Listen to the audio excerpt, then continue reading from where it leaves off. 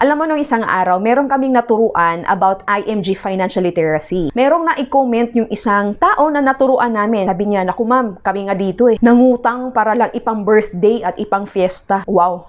Actually, hindi ko naman yun first time na narinig talaga dahil normal na ginagawa yun, lalo-lalo na sa probinsya, di ba? Tayo talagang mga Noy Pino, puno tayo ng yabang. Kahit na magkautang-utang, basta lang meron lang tayo may paghanda. Mangutang at mangutang talaga para ipang birthday, ipang fiesta, isang araw na kasiyahan, pero ilang buwan na kailangang bayaran yung utang, no? Para lang ipang fiesta or ipang birthday. Masama ba kapag halimbawa hindi ka nakapaghanda? Hindi naman eh. Hindi yun kabawasan sa pagkatao ng isang tao. Kung halimbawa wala talagang pera ipanghanda sa birthday or fiesta, so be it. Huwag kang mangutang. Kasi sino ba yung mamomroblema doon sa utang na yun? Hindi ba't ikaw? Kung ayaw mo ng problema, huwag kang maghanap ng paraan para magkaroon ka talaga ng utang at hindi po yan natatapos. Dahil nakakatamad kayang magbayad ng utang. O di ba? Nung una, kapag tayo po ay mangungutang ang bait, kapag ka tayo na po ay sisingilin, aba tayo po ay galit. 'Di ba? So kapag ayaw mo ng stress, eh iwas utang. Kaya mali po yung